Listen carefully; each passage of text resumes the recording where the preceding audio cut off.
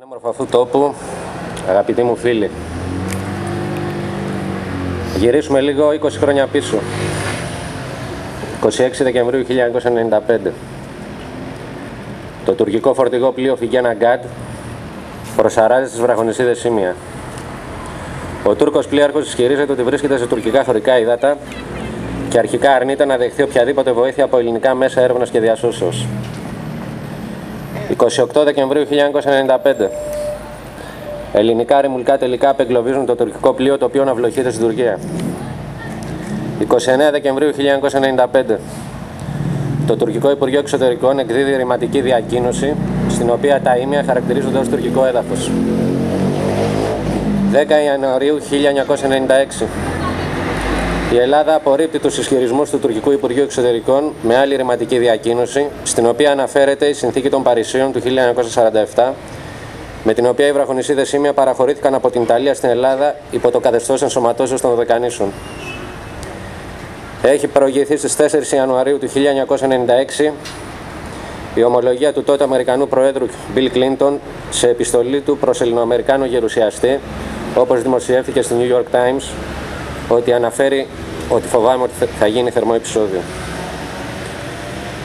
25 Ιανουαρίου 1996 Ο Δήμαρχος Καλυμνίων, συνοδευόμενος από τον αστυνομικό διευθυντή Καλύμνου, υψώνουν στα ίμια την ελληνική σημαία. Αυτό είχε σαν αποτέλεσμα την 28 Ιανουαρίου του 1996 μία ομάδα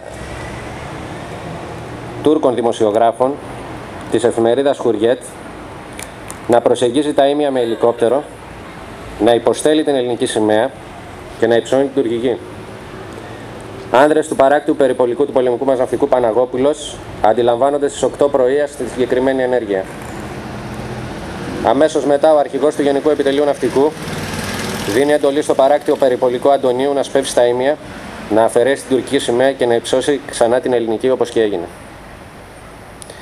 30 Ιανουαρίου 1996 Δημοσιεύεται σχέδιο σύμφωνα με το οποίο η τουρκική πλευρά διεκδικεί το σύνολο των βραχονισίδων, οι οποίες βρίσκονται κοντά στα τουρκικά παράλια.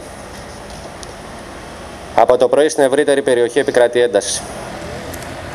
Το απόγευμα, ελληνικά και τουρκικά πολεμικά πλοία έχουν σπεύσει στην ευρύτερη περιοχή των Ιμίων και βρίσκονται σε διάταξη μάχης. Τα ελληνικά πολεμικά πλοία έχουν σαφώς το τακτικό πλεονέκτημα. Ταυτόχρονα, άνδρες των ομάδων υποβρυχίων καταστροφών αποβιβάζονται στα ανατολικά ήμια και δυνάμεις των ειδικών δυνάμεων στην Καλόλυμνο. Στις 11.00 το βράδυ διατάσσεται επιστράτευση στις στρατιωτικές δυνάμεις Εύρου και νήσων του Αιγαίου. Τα ξημερώματα, οι καιρικές συνθήκες είναι εξαιρετικές κακές, εξαιρετικά κακές. Βρέχει συνεχώς και η ορατότητα στην κυριολεξία είναι υπό του μηδενός. Στη 1 και 4 πρωί, Τούρκοι κομμάντος αποβιβάζονται στη μικρή ήμια και υψώνουν την τουρκική σημαία. Παραμένουν δε εκεί για 7 ώρες.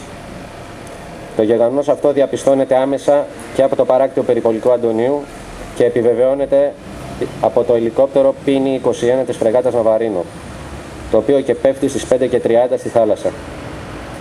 Σκοτώνονται οι αξιωματικοί του πολεμικού ναυτικού Χριστόδουλος Καραθανάσης, Παναγιώτης Βλαχάκος και Έκτορας Γιαλοψός. Σεβασμιότατε, κύριε Έπαρχε, κύριε Δήμαρχε, κύριε Ταξίαρχε, λοιπά μέλη των αρχών του πανέμορφου αυτού τόπου, αγαπητού μου φίλοι. Η ένδοξη ιστορία του πολεμικού ναυτικού, η εκκίνηση της οποίας χάνεται στα βάθη των αιώνων, είναι γραμμένη με αίμα και οι ένδοξοι νεκροί του που κοίτονται στον υγρό τάφο κάνουν τις θάλασσές μας ιερές με ό,τι συνεπάγεται αυτό για την προστασία τους και τη φύλαξή τους. Είναι η μέρα συγκίνησης για όλους μας, γιατί μαζευτήκαμε εδώ για να τιμήσουμε τους ήρωές μας, τους ήρωες των ημείων που δεν γυρίσαν μετά την τελευταία τους πτήση ποτέ πίσω.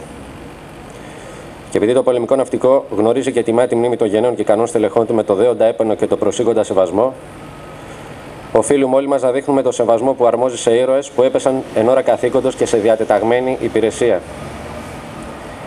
Η νύχτα των ημείων και η δυσία των τριών ηρώων αξιωματικών του πολεμικού μας ναυτικού έχουν μείνει χαραγ... έχουν... έχει μείνει χαραγμένη ανεξίτηλη στη μνήμη των Ελλήνων.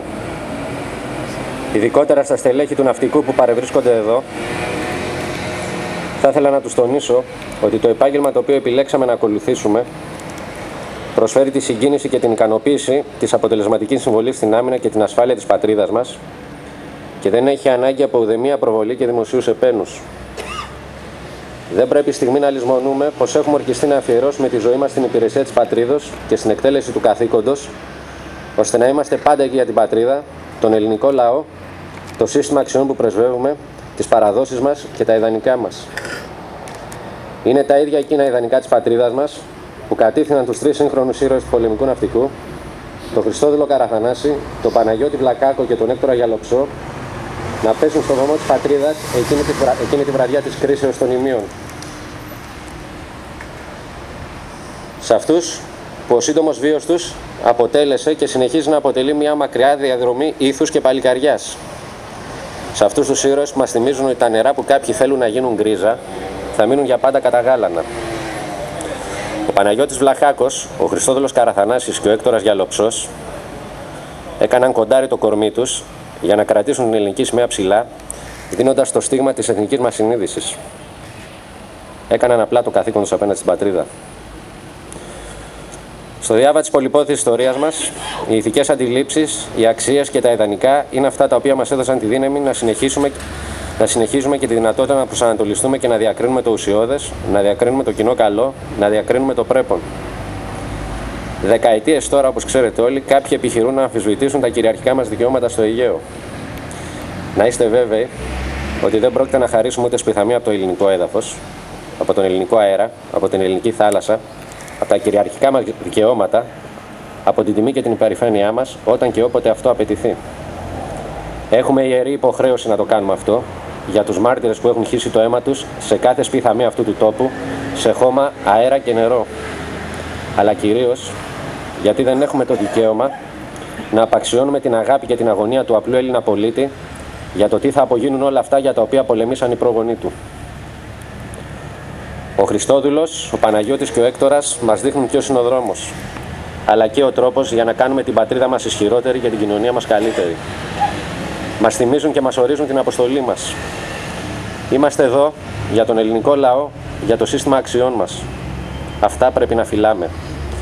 Διότι μην ξεχνάμε που δεν είναι ότι πάντα ήμασταν ένα έθνος όρθιο και υπερήφανο.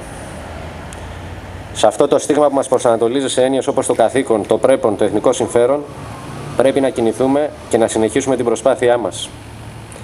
Χρωστάμε στους ήρωες και στις οικογένειές τους πολλά, γιατί ο πόνος τους είναι δυσβάστακτος και στα παιδιά τους και στις νεότερες γενιές τους. Τιμή και δόξα λοιπόν σε αυτούς που δεν γύρισαν πίσω, σε αυτούς που έδωσαν τη ζωή τους για να μην μικρύνει η πατρίδα μας. Σας ευχαριστώ πολύ.